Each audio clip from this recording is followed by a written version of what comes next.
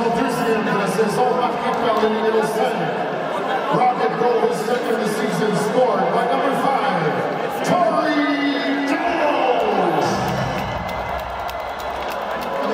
Number 6, assisted by number 26, Jesse Ylönen.